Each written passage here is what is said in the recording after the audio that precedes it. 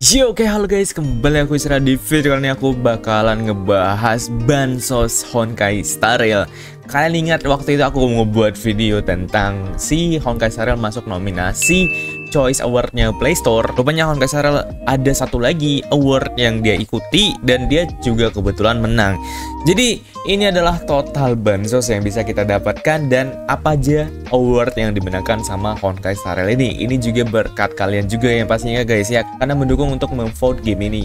Oke, jadi di sini kita lihat itu Honkai Star Rail has been honored with multiple accolades on the App Store dan Play Store ya. Jadi dia mendapatkan beberapa kayak App Store for the Year 2023 sama Google Play Store 2023. Jadi ini game itu masuk dua nominasi mau dari Android sama iOS dan kebetulan dia juga sama-sama menang kedua-duanya guys ya. Jadi di sini jadi kayak Game of the Year nya Play Store sama Game of the Year-nya. Nah, jadi di sini terima kasih Trailblaze untuk mendukung dan pihak dari developer akan memberikan 800 Stellar Jet via in-game mail mulai dari 1 Desember di sini ya. Dan pihak developer berterima kasih lagi atas dukungan dan supportnya kalian di sini guys ya.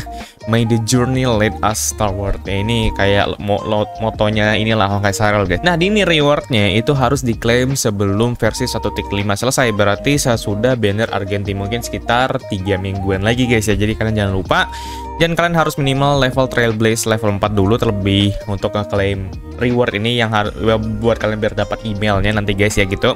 Kalau misalnya kalian punya second account gitu ya, levelnya masih level 1 siapa tahu gitu kan kalian buat iseng buat akun ya setidaknya kalian naikin lah sampai level 4 biar dapat bansosnya guys. Satu yang menarik buat gue itu adalah bansosnya yang dikasih. Menurut gue ini kan kebetulan menang dua award ya. Itu yang dikasih kan 800. Gue bu maksudnya bukan tidak bersyukur, tapi melihat dari waktu Genshin Impact kalau nggak salah tuh ya, itu yang dari Play Store entah PlayStation gue lupa itu ya. Itu dari antara dua itu itu dia juga dapat award juga. Itu kalau nggak salah ngasihnya 800 Primo Gems. Nah terus kalau dari App Store ini khusus dari App Store aja itu kasih 800 juga guys 800 Primo Gems. Jadi totalnya 1600 bahkan kalau nggak salah lebih deh. Kalau misalnya gue salah dibolehkan bantu koreksi guys gue juga lupa udah lama banget waktu itu waktu ini Genshin Impact rilis waktu 2019 atau 2020 ya? Gue lupa itu waktu itu uh, rewardnya dikasih. Jadi uh, tumen-tumen aja gitu ya. Biasanya kan slogannya tuh di Genshin tidak seperti itu gitu ya. Kali ini mungkin di Honkai Star tidak seperti itu. Tapi gue kurang tahu deh ya kalau misalnya gue salah boleh bantu koreksi ya guys ya. Entah 400 atau 800 ya.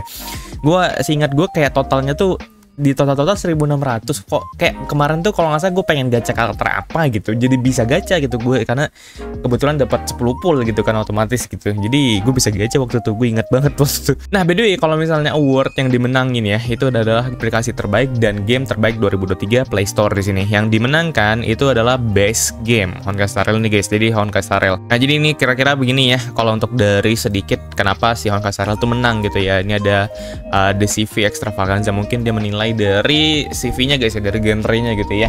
Dan satu lagi untuk dari eh ada ChatGPT di sini by guys. Dan satu lagi itu adalah App Store Awards di sini. Jadi itu adalah namanya iPhone Game of the Year Honkai Star Rail di sini ya. Jadi ada finalis juga Afterplay sama Vampire Survivor, tapi sayangnya mereka cuma hanya menjadi finalis saja di sini. Dan yang menang itu adalah Honkai Star Rail. Jadi totalnya tuh ada dua award yang dimenangkan sama si Honkai Star Rail ya. Jadi kira-kira begitu nanti guys kita bakal dapetin bansos 800 stellar jadi pastinya. Ya nanti bakalan dikasih tanggal 1 Desember. Jadi jangan lupa kalian klaim nanti itu biasanya ngasih enggak gue gak tau deh kalau dulu di Genshin tuh ngasihnya kayak per tahap gitu. Jadi ngasihnya 200 200 200 sampai empat kali empat hari gitu guys. Ya kayaknya mungkin ini kalau dilihat dari apa langsung 800 aja deh ngasihnya deh. So bagaimana pendapat kalian tentang award Honkai Star Rail kali ini guys? Apakah kalian enjoy gamenya karena bisa ngevote si Honkai Star Rail atau kalian cuma pengen bansosnya aja? Kalau sih pendapat kalian di kolom komentar. Terima kasih banyak teman-teman semua yang nonton video ini sampai akhir. Jangan lupa di like di share dan subscribe juga. Kita berjumpa lagi di video selanjutnya dan bye bye dadah